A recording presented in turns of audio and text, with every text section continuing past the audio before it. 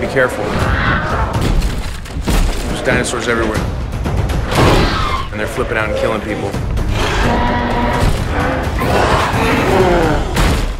There were scenes where we had so many dinosaurs in the same frame that we had to make the frame bigger.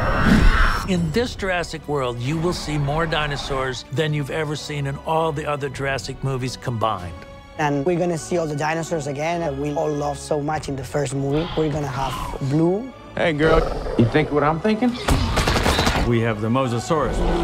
We have the T-Rex. We have a Baryonyx in this movie. We have a Carnotaurus. The Carnotaurus fights the Sinoceratops. We have a Stygimoloch. We just all love the Stygimoloch. We have a brand new genetically modified dinosaur called the Indoraptor.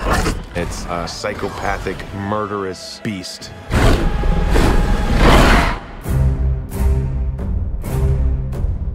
We're dealing with animatronic dinosaurs. It's so cool, and the animatronics are awesome. I think what the fans of the movie like is that we still have those real dinosaurs for the actors to interact with. Yeah, that's pretty good. Today's audience still hanker for practical effects in movies. On this project, we're all working together to make these animals come alive. We were able to create some hopefully really beautiful connection between man and beast in this movie. Shh. All right. There's dinosaurs everywhere.